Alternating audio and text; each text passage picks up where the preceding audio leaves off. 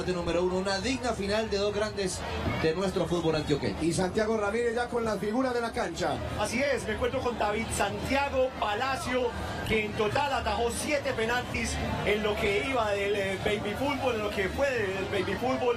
Pues en esta final también fue determinante para su equipo, no solamente por los penales, sino porque realmente era el líder del equipo en la cancha. David Santiago, una final, un título, la séptima estrella del baby fútbol, el séptimo título del baby fútbol para Envigado como, como equipo.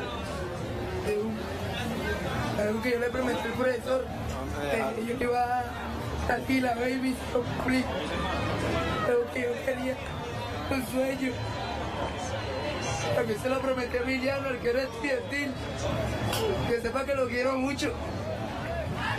Así es porque Emiliano justamente el arquero de Estudiantil fue uno de los que se acercó, al igual que el, arquero del Deportivo Cali, a felicitarte, a decir de las buenas condiciones de arquero. ¿Qué significa que tus colegas también reconozcan eh, esa calidad que tienes para atajar penales y también todo lo que estás mostrando en ese progreso?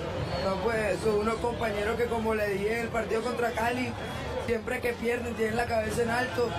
Pues ya para Estudiantil y Cali pues no se pudo, gracias a Dios nosotros pudimos clasificar y llegar hasta acá y pudimos ganar la final.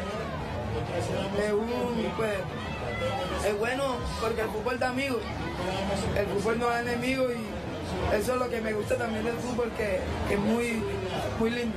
el fútbol da amigos. Y finalmente, David Santiago, creo que es importante decir eh, lo que hiciste en este partido, porque ayer contra Rey Pelé estabas un poco decepcionado con tu actuación, pero hoy fue la oportunidad de resarcirse. Sí, ayer no, no fue mi mejor partido.